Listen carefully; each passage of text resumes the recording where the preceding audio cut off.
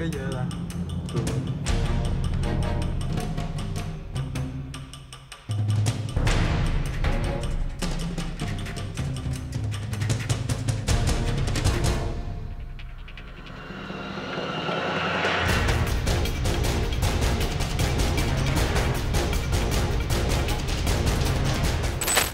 ขับมาจากอู่ตะเภาครับผม อืมมาถึงตรง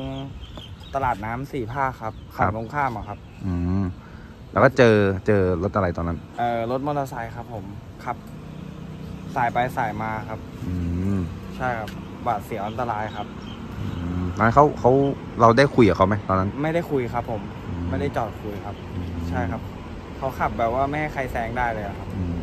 แล้วป้ายทะเบียนตอนนั้นเราเห็นไหม อ่อเห็นแต่ไม่ใช่ป้ายทะเบียนประเทศไทยนะครับไม่ใช่ของไทยอะครับ อืม เป็นของต่างประเทศอะครับ เออรู้สึก อันตรายครับ เพราะว่ามือหนึงเขาถือกระป๋องเบียร์ด้วยครับ แล้วสายไปสายมาครับผมอืมกลัวว่าคนอื่นจะได้รับอันตรายครับ มีมอไซค์เกือบโดนอยู่ครับ